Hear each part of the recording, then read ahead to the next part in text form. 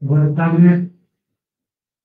Taller que, sobre escuela seca que hoy vamos a celebrar con Salazar, cerramos eh, una serie de actividades complementarias a lo que ha sido la muestra antológica sobre Julián de la Herrería, eh, precisamente eh, para dar este taller en nuestra técnica tenemos a Héctor Sánchez hoy aquí con nosotros y gracias pues, sobre todo a quien ha sido la persona que ha concebido, que ha eh, ideado que todos este, eh, estos eventos en la de la herrería se hayan llevado a cabo. Muchas gracias María Blanco, que hoy va a disertar precisamente sobre esta técnica y eh, parte de, de, de nuestro país.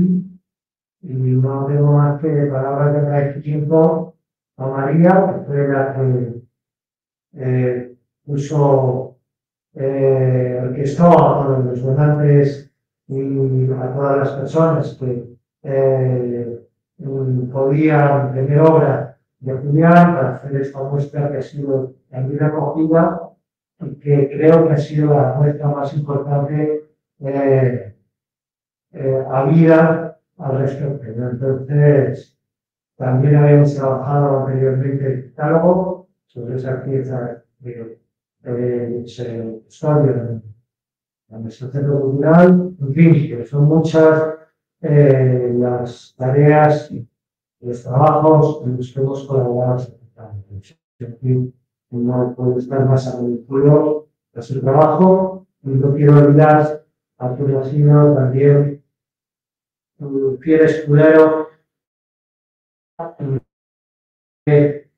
en tantas labores eh, como es Marta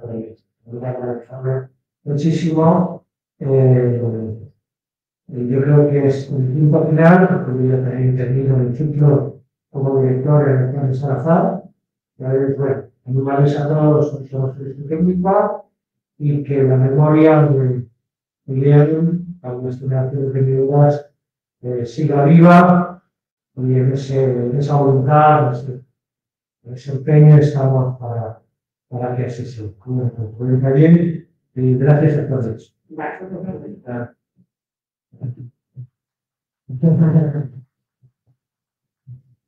dar paso a María. Sí, sí.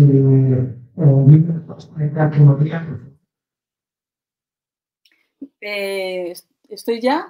¿Sí? Sí, sí. Vale. Muchas gracias, Fernando, por, por tu presentación.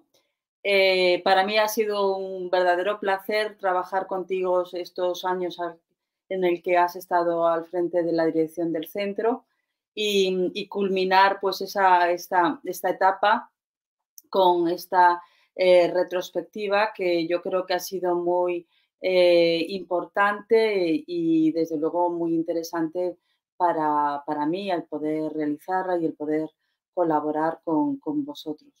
Eh, esto, este, este, taller pues no deja de ser un broche a, digamos, a la clausura de esta exposición que ya solo tienen esta semana para, verla.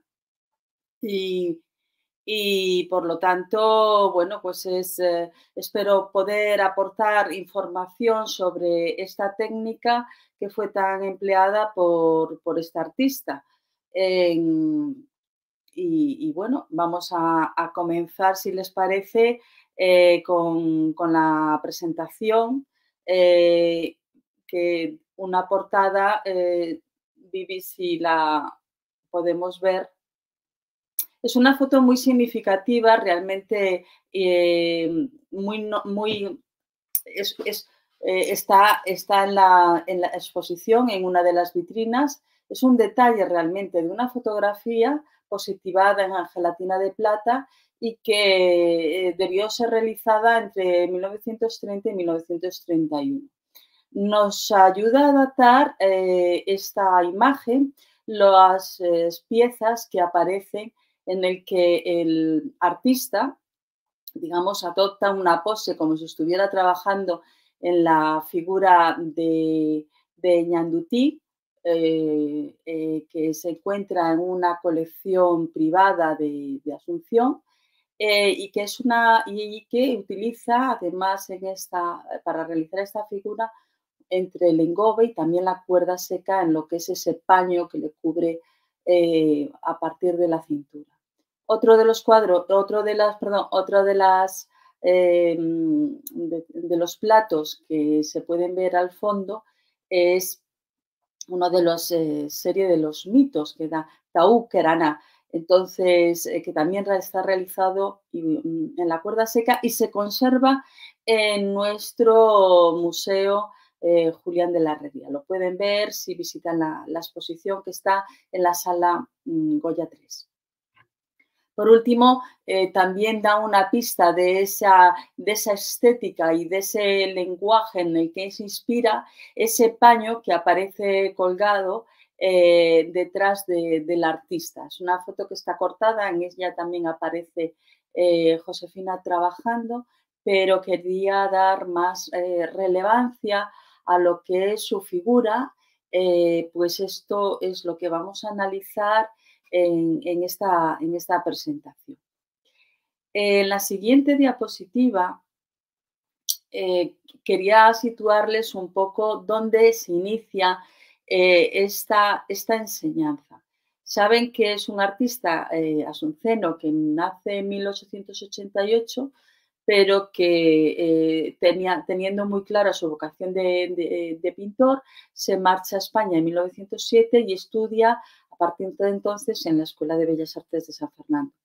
Eh, esos primeros años que pasan entre Madrid y que eh, una vez terminada la carrera en la Escuela de Bellas Artes se lo traslada se traslada a vivir a París durante la Primera Guerra Mundial al cabo de la misma y cuando consigue salir, regresa a Asunción. Hace una gran exposición de pintura, pero eh, no está todavía como muy conforme qué hacer si va a continuar con esa, con, esa trayectoria eh, basada pues, en, realizar eh, cuadros pintados al óleo, estampas cacográficas, acuarelas y otras técnicas que utiliza.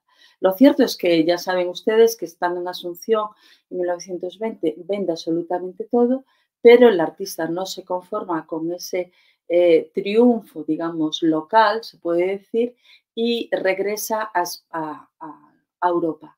En 1921 está trabajando y está mm, ensayando con otros materiales como es eh, eh, el batik, que Pérez le da clase. Em, está grabando, utilizando los tórculos de la escuela, de, eh, la escuela y, del Museo Nacional de Artes Industriales, que hoy es el Museo de Artes Decorativas, en Madrid. Y eh, gracias a una eh, carta del director de ese, del museo, Rafael Domenech, consigue em, una plaza en, la, Escuela Práctica de Cerámica de Manises. Lo que están viendo entonces es, digamos, un cambio de rumbo y, de, trayectoria em, que sucede en el otoño de 1922, en la que él todavía utilizando eh, su nombre, tal como aparece en su pasaporte, eh, Andrés Campos Cervera, ingresa en esta escuela. Una escuela que están viendo ahí el aspecto todavía actual de esta fachada, que es una escuela que todavía funciona en Manises, que no deja de ser uno de los centros alfareros más importantes de España desde eh, la Edad Media y que, como les indico ahí, que por Real Decreto en 1916 fue reconocida por el Estado, aunque ya existía antes, como centro de enseñanza de oficial de carácter estatal y que adopta ese nombre de como Escuela Práctica de Cerámicas de Manís en Valencia. Ahí, con otros alumnos, va a cursar los estudios en los que tiene eh, distintas asignaturas sobre, sobre eh, química, eh, técnica, modelado, etcétera, etcétera. Pasando a la siguiente imagen.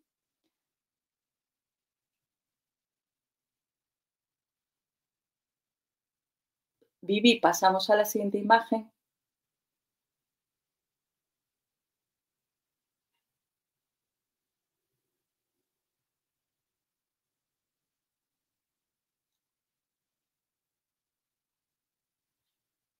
Eh, Vivi.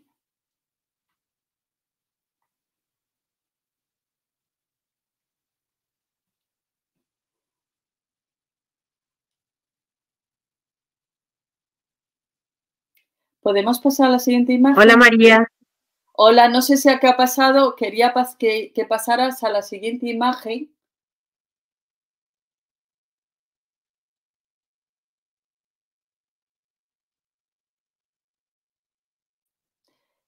Esta imagen. Eh, bueno, no sé si hay una anterior, no importa. Es sí, esta imagen, por ejemplo, que es una foto em, cortesía de la colección ISUP, que ya conocía, pero que la he visto más completa, eh, pues nos enseña cómo era el interior de esos talleres en los que él trabajaba y aprendía eh, desde el año 1922, al menos durante tres años, en la que se puede ver al artista trabajando. Es un hombre que, cuando ingresa ya tiene 34 años, no es ningún niño. De hecho, eh, nos cuenta Josefina en la biografía que es el mayor de todos los alumnos, que tenía la llave, que bueno, mantiene una amistad con el director y también profesor, que es el eh, don Manuel González Martín. Y es una imagen pues muy ilustrativa de bueno, cómo son estos talleres y en las que podemos ver, por ejemplo, en la parte superior, los moldes de tinteros, que son unas de sus primeras piezas y que pueden ver cinco de ellos ahora mismo en la exposición, en la que en realidad el depósito es la parte de abajo y la cabeza es eh, eh, la tapa, ¿eh? para, para que la, la tinta no se, no se evapore. Estos tinteros son una de sus primeras piezas y aquí lo que podemos reconocer es pues los moldes que, se utilizaban. Otras piezas, estos, estos, cuadros que aparecen al final, yo no los no creo que sean de, su producción, pero sí este grabado que tenemos expuesto ahora mismo en la sala dedicada a su pintura. En la siguiente imagen eh, podemos ver eh, también otras fotografías de esta misma época en la que el artista vemos eh, su manera de trabajar a mano alzada, como este es una imagen de, sobre entre 1922 y 23, que también la exponemos eh, y la, hemos reproducido en grande en, la actual exposición, la que vemos cómo eh, está trabajando como un vaso simplemente todavía recubierto de, digamos, a lo mejor simplemente con un esmalte estanífero, está estableciendo, digamos, el dibujo de, esta eh, gacela, gacela que vemos también, o cervatillo, que vemos reproducida en la pieza que hemos elegido como portada del catálogo, que es la titulada Araputi. Eh, vemos en esta pieza eh, que se titula Pavo Azteca, un azucarero que tenemos igual o muy similar, solo cambia la policromía, expuesto eh, y que pertenece en este caso a la Fundación Imaragüe, expuesto en la exposición cómo es la separación de los colores en la técnica que ya empieza a utilizar y que conoce desde el principio, debe ser de una de sus primeras eh, asignaturas, puesto que ya desde 1923 maneja dos técnicas. Una es la cuerda seca, de la que hablaremos mucho eh, a partir de ahora, y otra es el reflejo metálica. Ambas son dos técnicas medievales eh, introducidas por los árabes en España. Y, él, aunque ambas técnicas estaban un poco ya digamos, abandonadas, eh, habían caído en desuso, eh, hay ciertos artistas que, como él, eh, y con esa preferencia, como decía en, uno de sus, en unas declaraciones de esta época, su deseo de convertir el barro en oro, utiliza con profusión y a veces mezcladas las técnicas tanto de reflejo metálico como de cuerda seca. En la siguiente diapositiva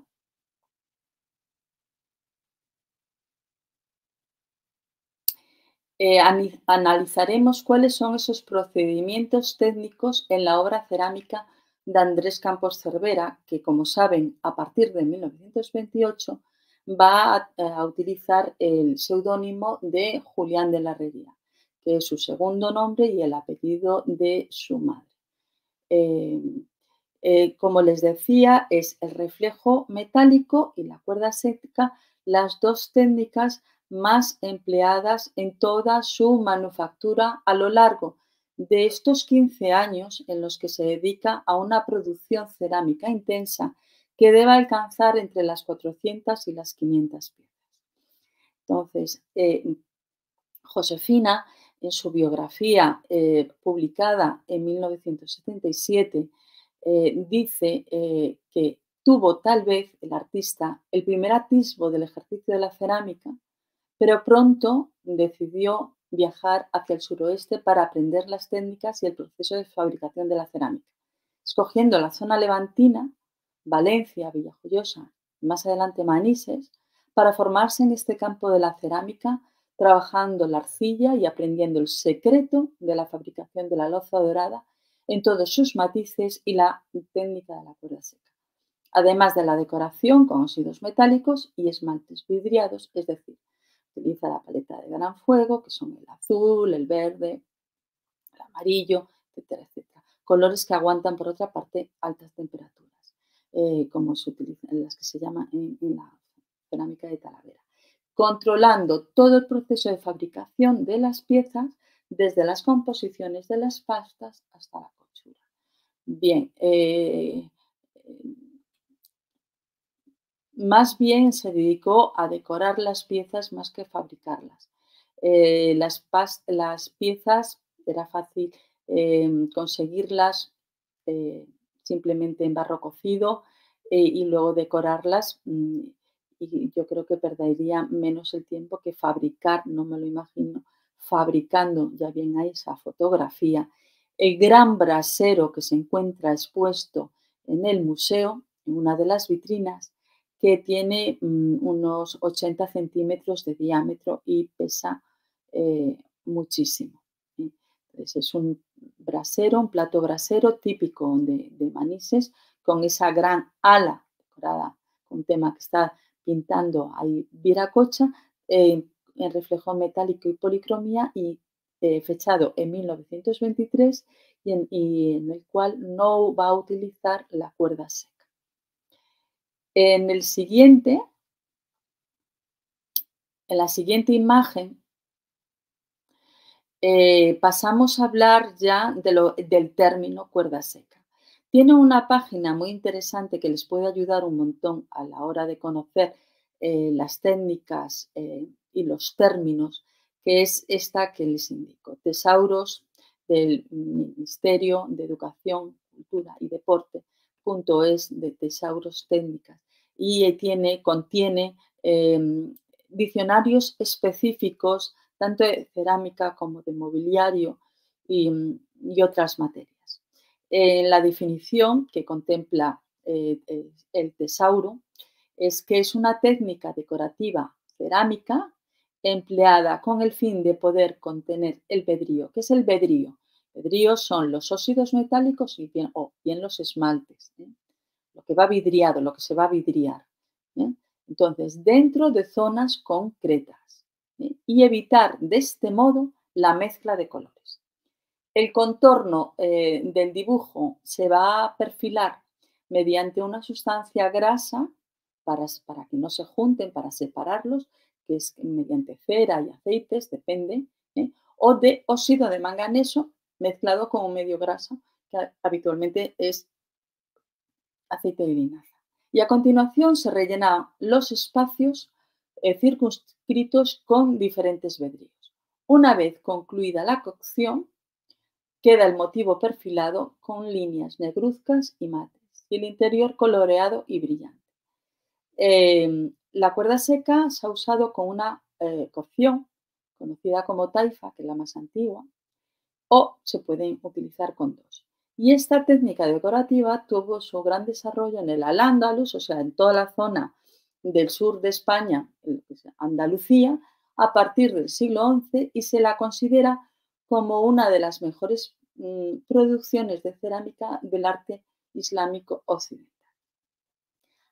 Ahí les pongo una paleta de colores aproximados de los óxidos. Es decir, tienen que saber que los óxidos dependen de que se emplee, que si es el de hierro, cobre, manganeso, cromo, cobalto o níquel, eh, utilizando estos óxidos puros, les vamos a obtener el color rojo, ocre, marrón, verde, azul grisáceo y aceituna respectivamente. Pasamos a la siguiente imagen para ver el aspecto de estos óxidos que son como polvos de color de diferentes eh, eh, ven ahí granulado y qué hacemos con ellos diluirlos con la ayuda de agua para aplicarlos a mano alzada o bien con una perilla. En la siguiente imagen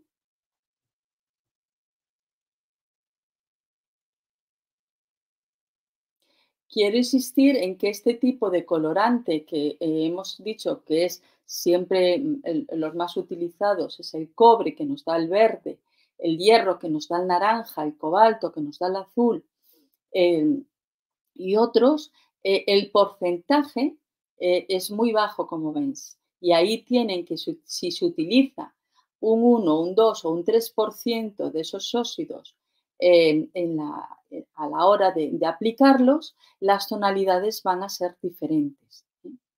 Entonces, eh, esto es importante que lo tengan en cuenta para conseguir el color deseado por el artista o el artesano.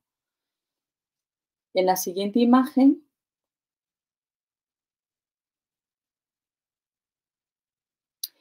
tenemos que esa técnica de cuerda seca se aplica sobre piezas de vajillas con dos funcionalidades diferentes. Por un lado, como ha hecho indistintamente eh, Julián de la Herrería, piezas de vajilla y por otro, azulejos, que están destinados, como saben, a la ornamentación arquitectónica, a cubrir eh, suelos y paredes. Eh, en este caso es una reproducción de un plato eh, en verde y manganeso, que sería un óxido de cobre y, manganeso, con cuerda seca parcial, porque no está decorado completamente. En la siguiente imagen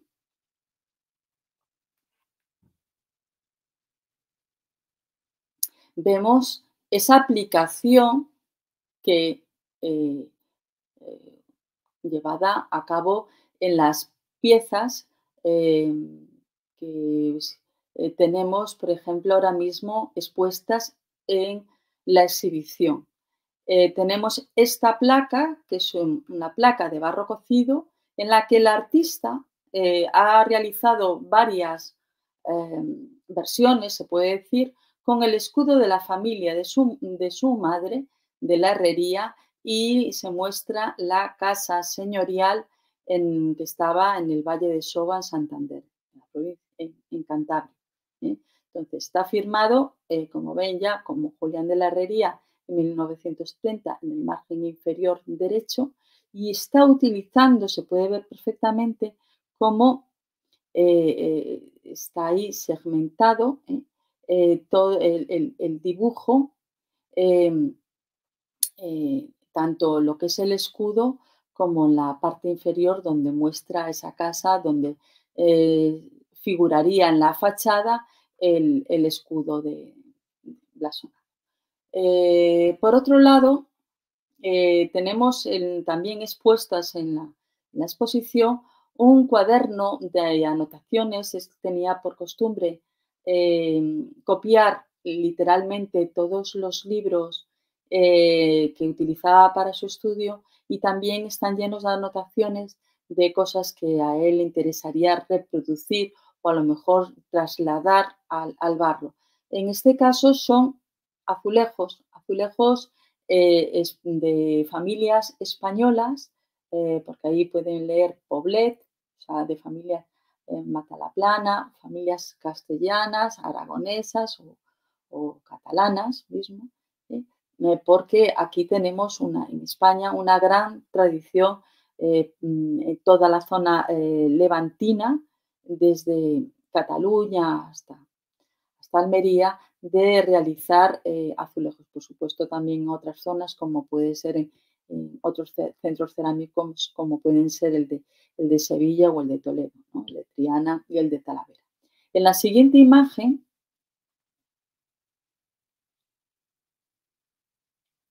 La técnica de la cuerda seca, insisto, aparece por primera vez en España en el siglo X, otros autores dicen que en el siglo XI, que va, eh, eh, lo que sí que es seguro es que la, procedencia es morisca, son los pueblos árabes que están asentados desde, el 711 que los que eh, introducen esta técnica, como la de reflejo metálico, que usan la grasa animal y pigmentos minerales principalmente el hierro o manganeso, para la elaboración de los dibujos sobre piezas cerámicas. Esta es una jarra antropomorfa del siglo XV que ha utilizado em, la técnica de la cuerda eh, seca y que se conserva en el Museo Arqueológico Nacional.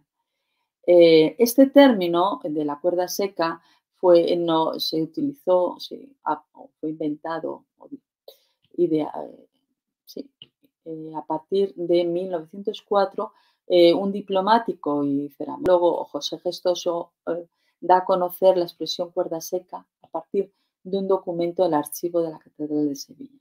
Y propone este término que alude a esta técnica decorativa en gestión. Se refiere a que las líneas de manganeso se utilizaba para separar los óxidos de colores sobre el barro bizcochado. Y este, digamos, es el aspecto de, una pieza antigua utilizando eh, la cuerda seca o la separación de los, de los colores. En la siguiente imagen eh, vemos otra pieza de la misma época del siglo XV que también se conserva en el Museo Arqueológico Nacional que tiene que, y, que mm, también por hablar de otras técnicas similares eh, esta de la cuerda seca tiene más antigüedad que la llamada de cuenca o de arista. Eh, su desarrollo eh, coincidió con la época de la Lándulos en la península ibérica en el siglo X dentro de la cultura morisca y mudéjar. Más concretamente, durante el reinado de los reyes católicos, saben que durante el siglo XV, principios, muy poco del siglo XVI, lo cual provoca que estas dos culturas se mezclaran más adelante con las del gótico eh, y Renacimiento. Ya estamos hablando España del siglo XVI. En la siguiente diapositiva, que ya pasamos a hablar sobre el procedimiento. Es decir, esos esmaltes, esos óxidos metálicos en los que están mezclados con agua, que son mm, de distintos colores, eh, van a formar un dibujo que se va a separar mediante una línea grasa. Esa línea grasa se va a poder trazar de dos maneras. Bien con un lápiz blando, que es lo que solía utilizar este artista, B2, o similar, o también con un pincel a base de un pigmento cerámico. Eso es un ejemplo que les pongo de la cuerda seca total. Es decir, va a ser una labor eh, de, mucha precisión y de tener mucha paciencia para estar rellenando con color cada espacio que está delimitado por un dibujo previo. En la siguiente imagen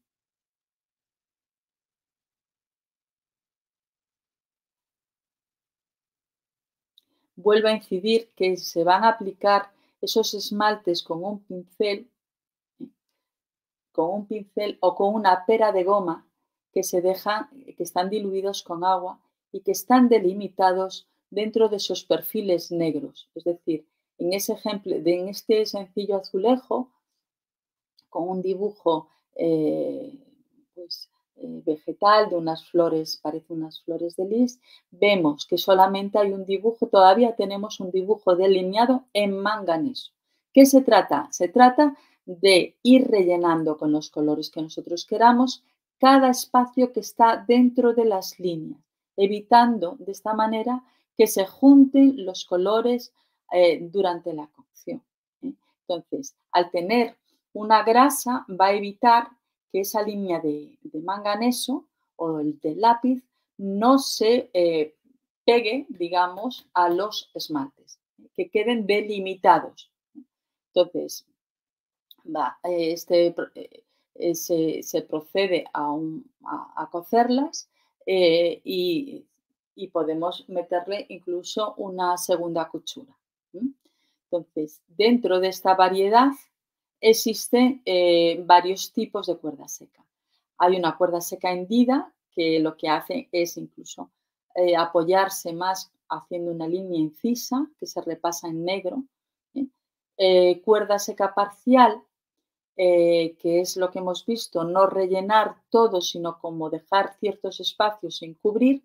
Y la cuerda seca total, que es lo que ha utilizado casi siempre esta artista, que independiente eh, es rellenar absolutamente toda la superficie con esmaltes que irán separados por estas líneas. Líneas que pueden estar, insisto, trazadas simplemente con un lápiz de grafito o por un, eh, un óxido de manganeso mezclado con aceite de linaza.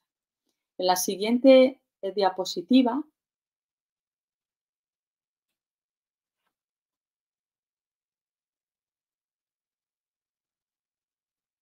vemos cómo eh, eh, físicamente se produce, eh, digamos, o se comienza a realizar. Tenemos sobre esa sencilla placa de, de barro cocido, trazamos con un lápiz, estamos trazando el dibujo.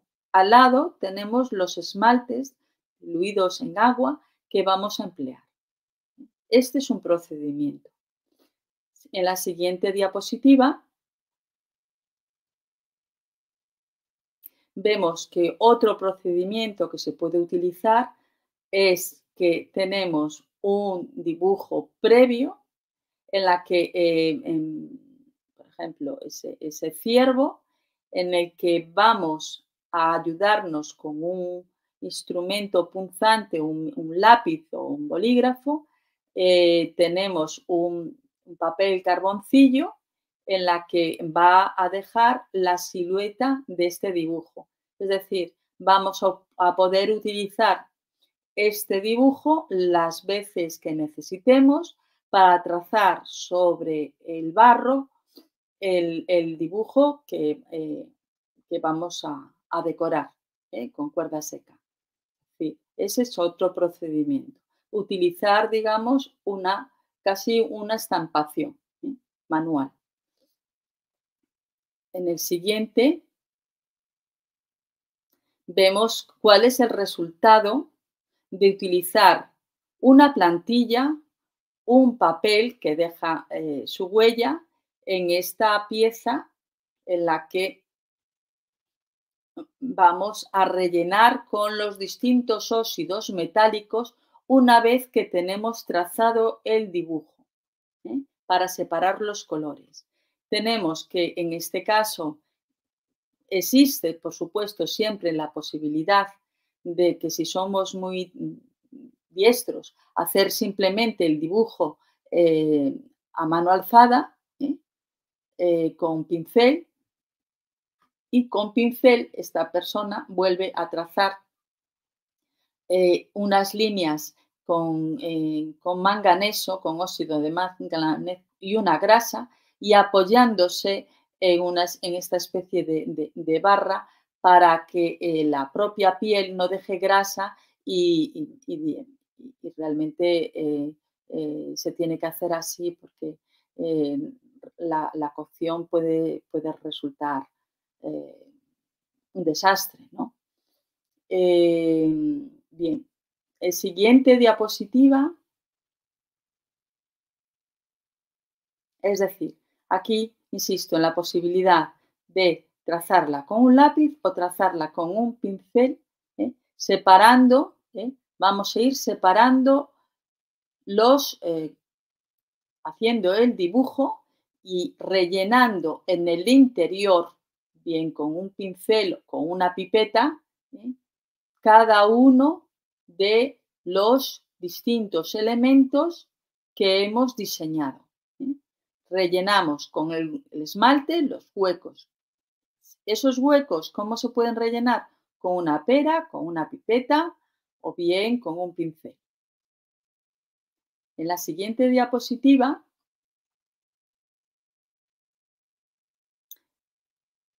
vemos esas peras ¿eh? Están llenas de, esos líquidos, de esos óxidos eh, metálicos eh, en los que hay que agitarlos previamente para que la mezcla esté bien diluida, que hay que bueno, evitar no cometer er, demasiados fallos porque hay que tener un pulso firme.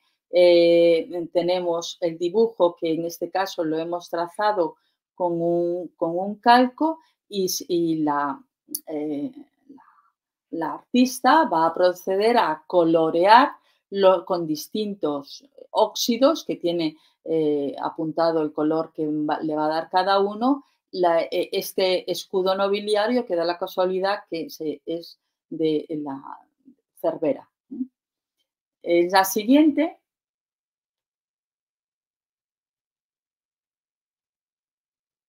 vemos que es eh, explicando, eh, insistiendo en que después de que los espacios que hemos delimitado con ese trazo se aplican los colores y se logra una decoración con trazos definidos y colores diferenciados. Entonces, va a crear un efecto visual de relieve sobre el azulejo o sobre un plato, aunque eh, sea realmente liso, ¿no? Completamente porque el esmalte se funde en su totalidad. Es decir, hemos visto cómo esa, esta eh, pequeña placa eh, teníamos eh, trazado el dibujo y cómo con distintos óxidos trazamos estos colores y tenemos como resultado en la siguiente diapositiva Bueno, este es el otro ejemplo que le estaba poniendo. Aquí pueden ver eh, cómo eh, con, esta, con, esta, perilla eh, la artista va aplicando, digamos, el color, el óxido metálico, utilizando una parilla para los colores, siempre la misma, empieza con un color y va aplicando en las distintas partes del azulejo. En la siguiente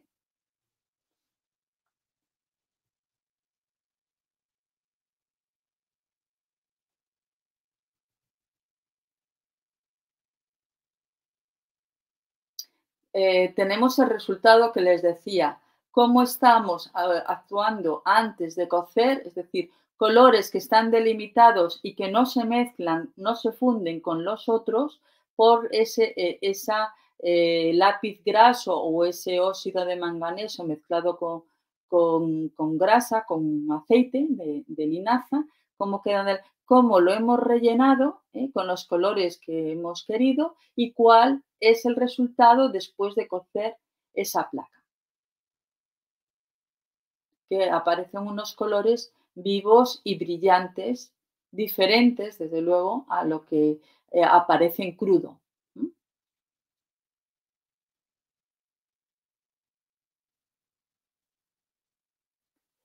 Eh, en el caso de, la placa del escudo con, la leyenda Cervera, eh, este es el resultado.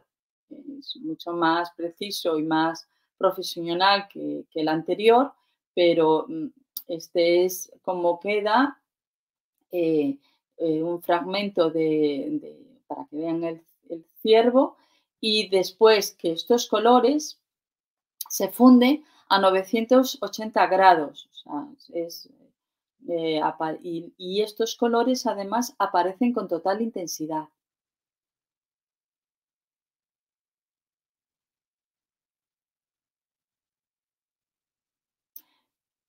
Eh, aquí querías eh, mostrarles una pieza que ya le he citado al principio, que es un gran plato titulado Arapoti de 1935 con un motivo que utilizan, uno, que veíamos en la fotografía en un vaso eh, ya desde 1922-23, realizado con la técnica de cuerda seca que está en la entrada de la exposición. Eh, magnífico ejemplar y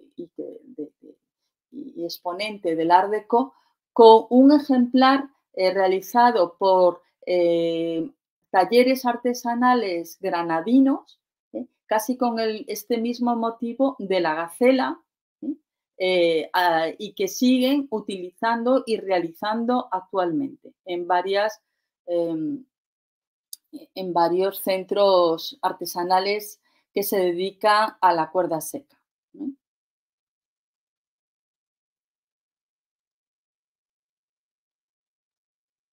Este es un ejemplo que no tiene nada mucho que ver, pero que me sirvió eh, para explicar el, tema de, por un lado, eh, vemos estas mismas gacelas, por otro lado, nos remontamos a la época romana. Se trata de un mosaico romano en lo que también los artistas de aquella época del siglo II, III después de Cristo querían delimitar, digamos, los dibujos, una manera de explicar eh, el, detallismo y el, resultado puntilloso a la hora de con estas pequeñas teselas o en este caso nosotros con la cuerda seca intentamos delimitar por un lado lo que es el dibujo, eh, dibujar y después rellenar con distintos colores buscando a veces eh, contrastes y claroscuros, eh, pero en lo que las distintas técnicas lo que intentan siempre es avanzar en, cuanto a, su, a, sus motivos, eh, a, sus motivos decorativos. Em, siguiente imagen.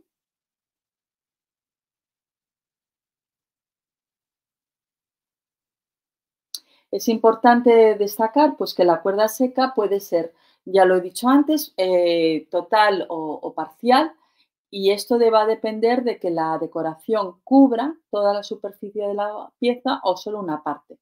¿eh? Cuando se quiere conseguir o, que no, se también eh, no hay otra opción, se puede utilizar mm, otra técnica que hemos hablado de la cuerda seca hendida, que es que consiste en abrir pequeños surcos con un instrumento punzante que luego se rellenan con una mezcla de manganeso más un elemento graso, que siempre se insiste en lo mismo, como es el aceite de linaza o el aceite de oliva, y eh, como hacen algunos eh, ceramistas granadinos. Esto es un detalle de la cuerda seca andina de una pieza granadina actual.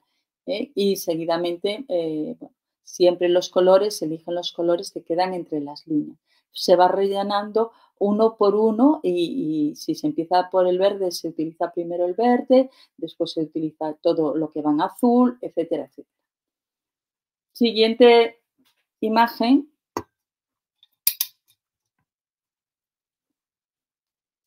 Em, volviendo a, piezas históricas, este es un recipiente, un ateifor, de, confeccionado con la técnica de la cuerda seca hendida del reino de Granada, de, y es que esta técnica de la cuerda seca clásica es un procedimiento de origen hispano-musulmán que se utiliza en Manises y, que, y la tienen documentada durante el último cuarto del siglo XV o principios del siglo XVI en la decoración de azulejos.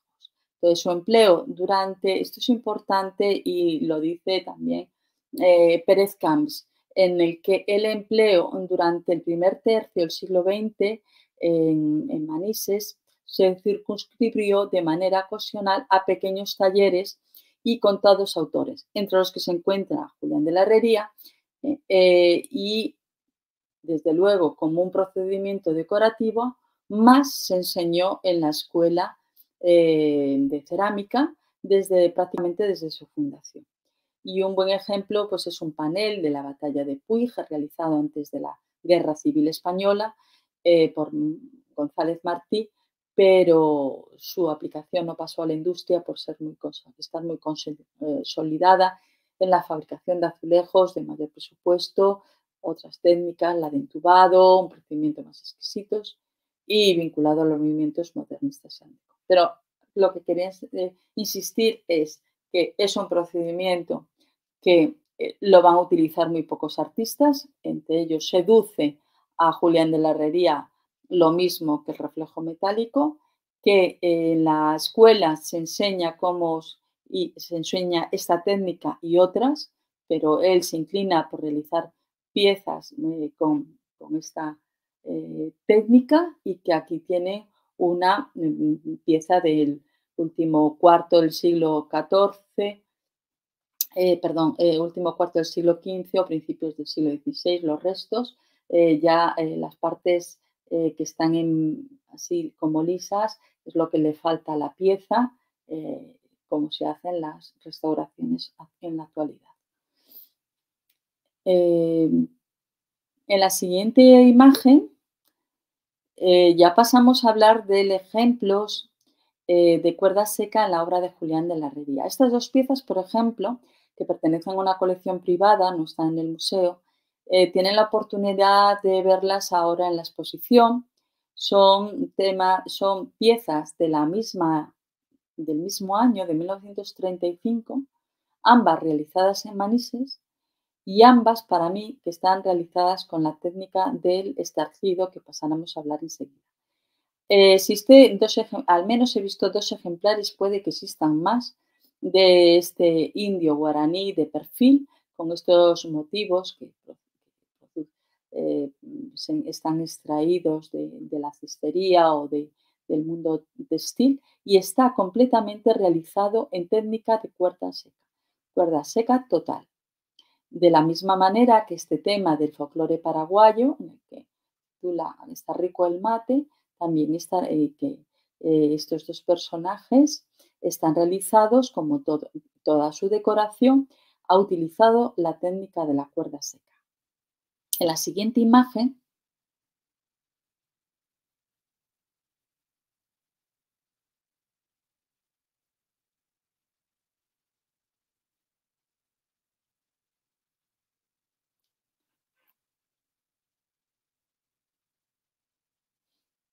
¿Podemos pasar a la siguiente?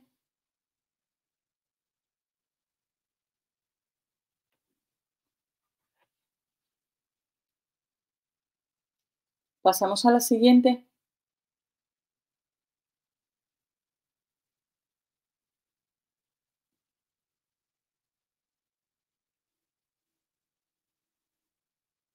Debemos tener dificultades técnicas porque eh, quisiera que pasáramos a la siguiente imagen, en la que ya estamos en la última parte de esta exposición, en la que trato de mostrar mm, ejemplos y seguir con los procedimientos de esta artista a la hora de realizar sus piezas.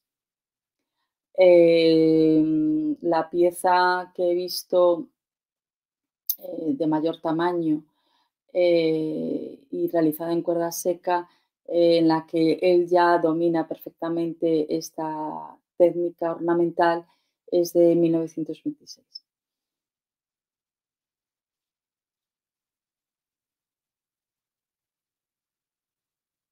Bueno, son problemas del directo en las que mm, viví, no sé, eh, ¿estás por ahí?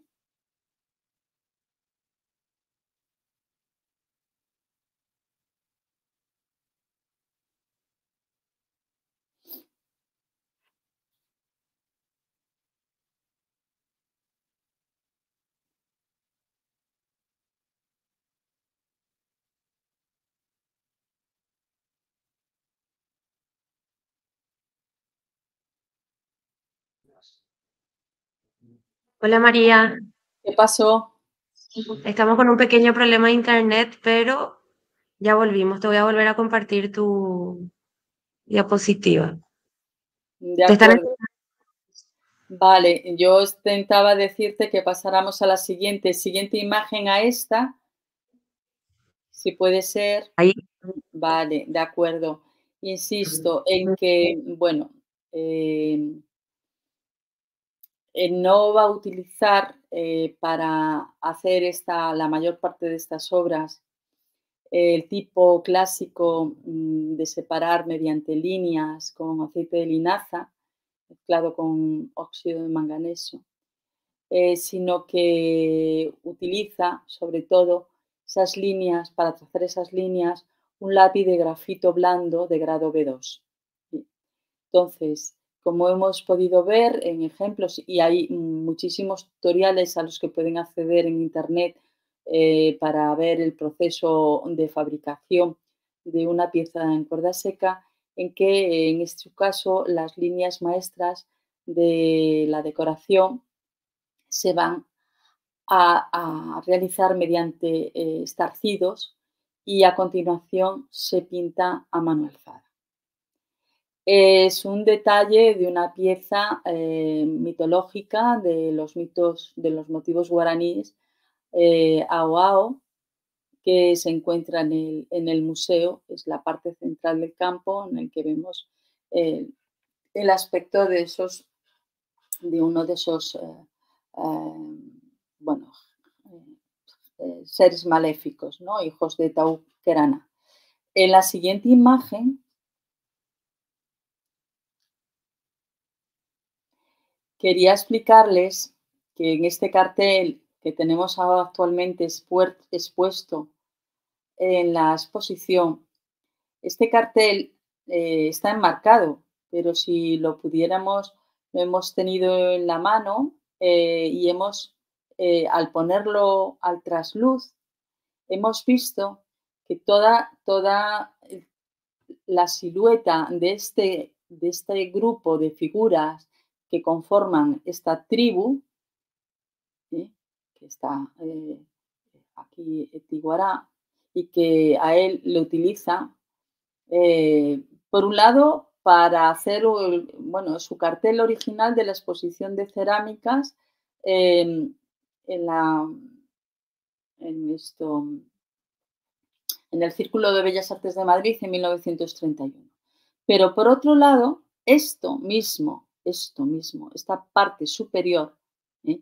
que digo que está con, llena de agujeritos, todo lo que es las siluetas ¿eh? de las figuras, le sirve a él para confeccionar un eh, plato, un tondo de grandes dimensiones que nunca no he podido ver al natural, pero que sin embargo debe existir en alguna colección privada en Paraguay eh, solo he conseguido este fragmento que está en una web de, una galería de arte en la que podemos ver la parte de abajo que es exactamente igual. Estaría realizado en cuerda seca, pero como ven, lo que quiero explicarles es que esta parte de arriba, él ha utilizado, la ha utilizado como estarcido, como plantilla para eh, realizar el dibujo ¿eh?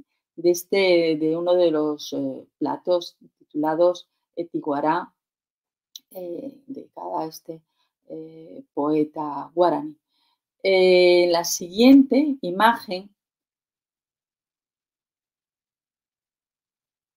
quiero explicarles qué es el término estarcido muy brevemente. Es una técnica de decoración en la que se emplea una plantilla eh, tenemos, a ver, tenemos este dibujo. Nosotros, desde luego, tenemos que trazar un dibujo a lápiz, a lápiz, eh, a tinta o lo que queramos. Después, lo que hacemos es eh, todo ese dibujo agujerearlo, hacerle pequeños agujeros con la punta de un alfiler, toda la silueta de este dibujo que hemos trazado. A continuación, se pone sobre la pieza donde queremos reproducir ese dibujo. ¿eh?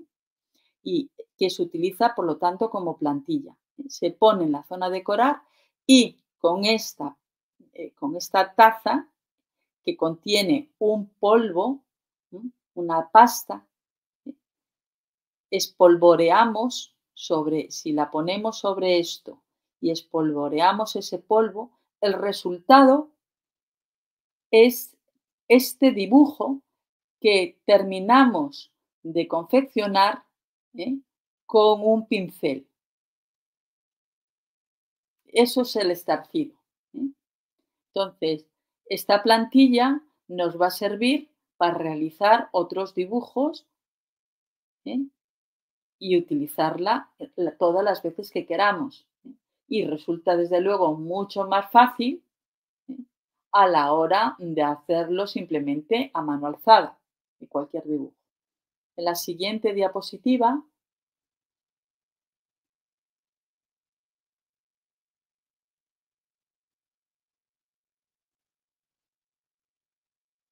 vemos otros ejemplos de cuerda seca desde las primeras piezas como son estos indios eh, sentados, que en realidad son tinteros, algunos de ellos los de la primera época, en los que utilizan la cuerda seca parcial ¿eh?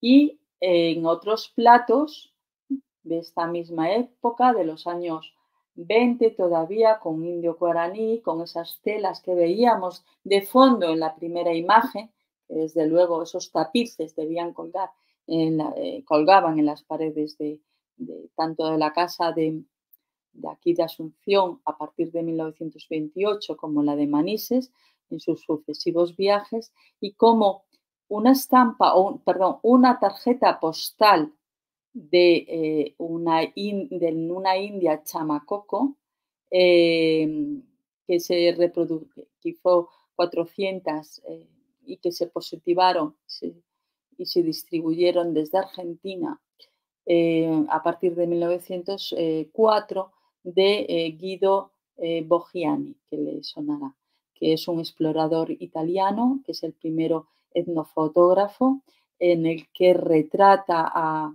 todos, una serie de, tribus mm, que se encuentran eh, tanto en el Gran Chaco como, en el Mato Grosso y que le sirven tanto a Julián de la Herrería como a Josefina Pla para realizar y para inspirarse en, sus, motivos eh, decorativos a la hora de elaborar las piezas. Es decir, las tarjetas postales estas y otras van a servir eh, al matrimonio de fuente de inspiración para realizar sus diseños. En la siguiente diapositiva tenemos un ejemplo que se conserva, menos conocido para ustedes, pero que pueden ver a través de, la página de Ceres en el Museo eh, Nacional de Cerámica y Artes Suntuarias González Martín en Valencia y que son una de las 13 piezas que Josefina Pla donó en 1956 cuando le fueron devueltos todo el depósito en agradecimiento por, esa custodia. Eh, es un plato, como pueden ver, eh, eso ahí eh, indico que es de 46 centímetros de diámetro, es un gran tondo, se puede decir, con anillo en el solero, o sea, en la parte inferior de, la base, que está decorado con cuerda seca total, polícroma y que no está hecha con, esmaltes, sino con engobes. Es decir, no va a dar un resultado eh, brillante, sino mate. En el, en, el, centro tenemos, explica la descripción se completa que es un rosetón con 12 caritas eh, iguales. Eh, seguramente este motivo decorativo se ha inspirado en telas, que es donde se solía inspirar, y telas que eh, extrae de, estos libros alemanes que utiliza a partir de, de 1922 el artista Kulturen der Enden eh, de Furman, que, tiene varios eh, volúmenes y, en los, y con fotografías en blanco y negro. Y en este caso les sirve estos motivos para recrear y hacer en cuerda seca estos, esta decoración. En la siguiente es un ejemplo similar, por ir terminando. ¿eh?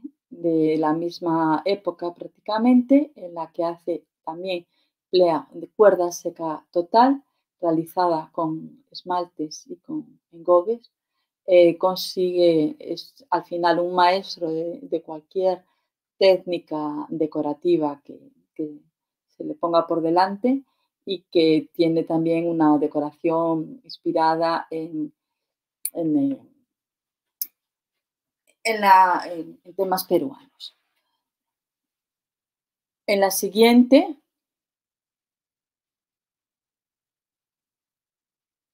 diapositiva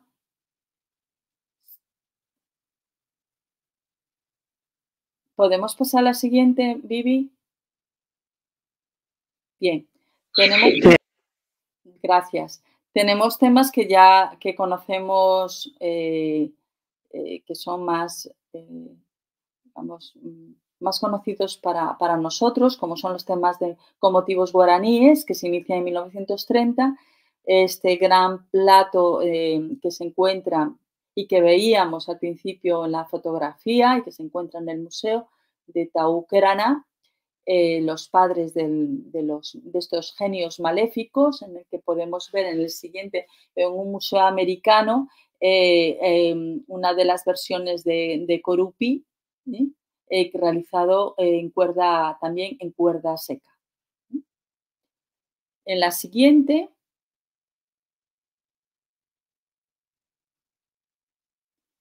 llegamos a la última, creo que es la última imagen, en la que también podemos verla estos días por última vez, ya que se encuentra en una colección o pertenece a una colección privada, eh, esta huida a Egipto firmada eh, con las iniciales JH, también realizada en cuerda seca y con un tema que, religioso que no es habitual hasta el momento solo he encontrado dos. Uno es la Virgen de Cacupé, que se encuentra en la fachada del oratorio del Cementerio de los Españoles en la Recoleta, y otro es esta placa, eh, muy curiosa el tema, pero como pueden ver, la separación ¿eh?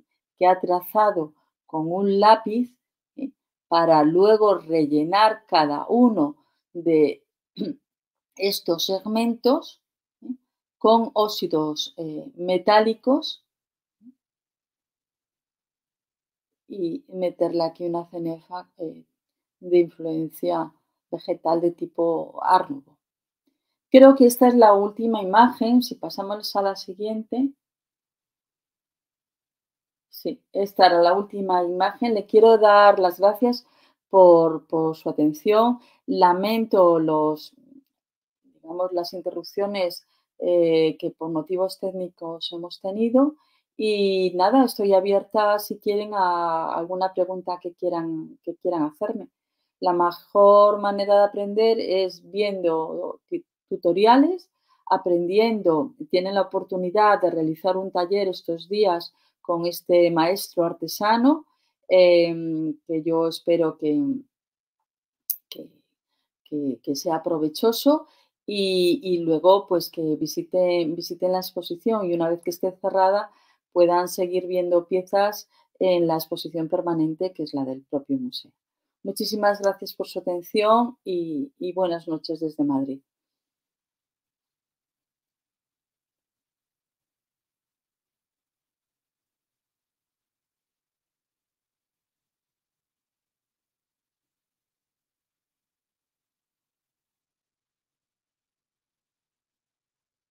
Vivi.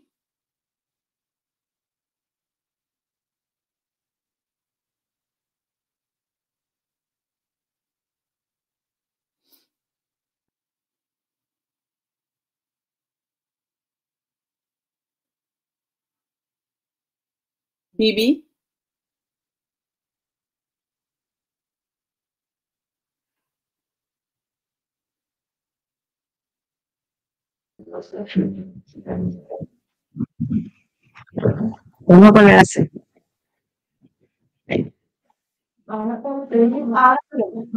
Sí, bueno, lo cierto. No, me llamó la atención de que en una parte de la exposición se mencionó que aparte de hacerse sobre el coche cerámico, también se podía realizar la cuerda seca sobre azulejos. Y pregunto si azulejos eh, comerciales o no.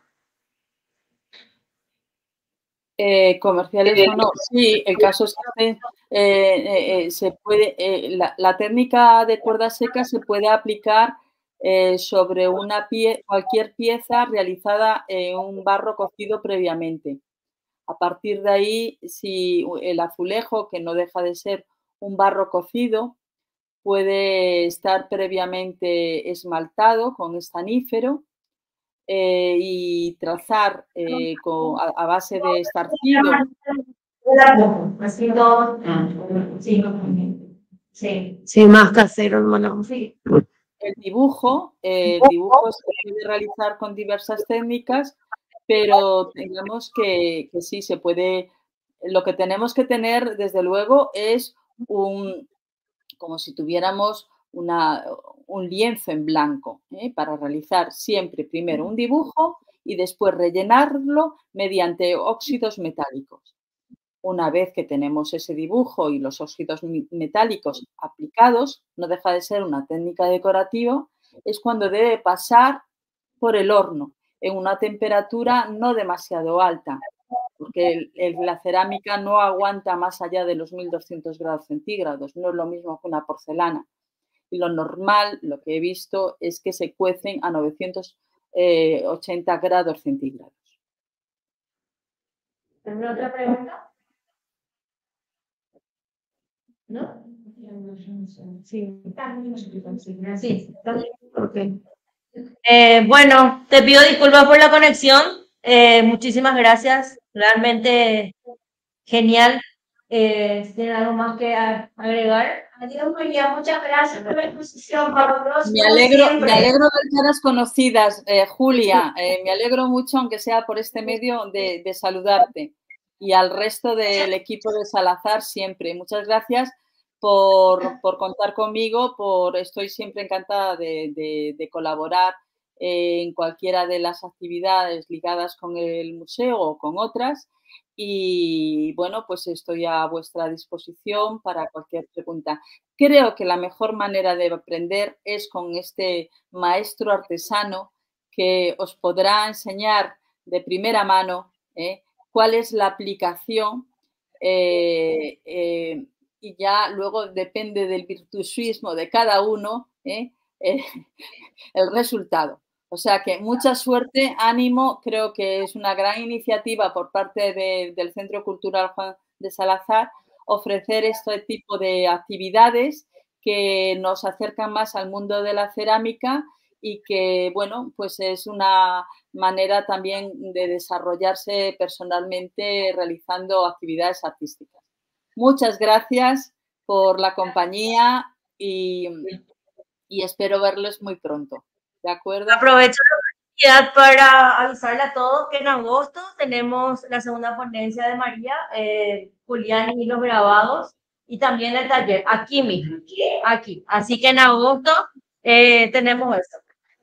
Bueno, pues la iré, preparando, la iré preparando y que sea muy... Y la, y la, me centraré mucho en explicar las técnicas y con buenos ejemplos. Eh, muchísimas gracias por, por todo con el maestro en agosto y toda la gente. Aquí está el maestro sentado. Te escuchas despacito. No, le, no, no, te pude entender muy bien, pero en agosto. Julia dice por los talleres.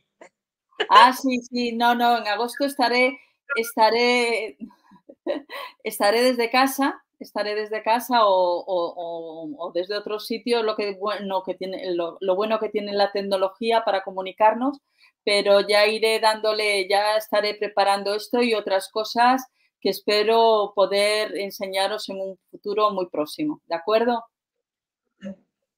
Sí, a la cortita, sí. Pregunto, pregunto si los azulejos de la Alhambra están hechos también con cuerda seca o no. No, los, los, azulejos de la cuerda de la Alhambra yo creo que están hechos con um, cuerda, con arista. Eh, es decir, es un procedimiento en el que utiliza eh, unos eh, como unos tacos de madera que sobre la y que es algo más mecánico, ¿sabes? Se utilizan como moldes en los que hay una imprimación en seco y luego eso ya sirve para ir rellenando con color. Perfecto. Es mucho, Muchísimas más gracias, fácil, María. es mucho más fácil ¿eh? a la hora de, de hacerlo. Esto es un trabajo de chinos y realmente hoy quien trabaja en España la cuerda seca son más que artistas, son artesanos, son talleres artesanales de cerámica.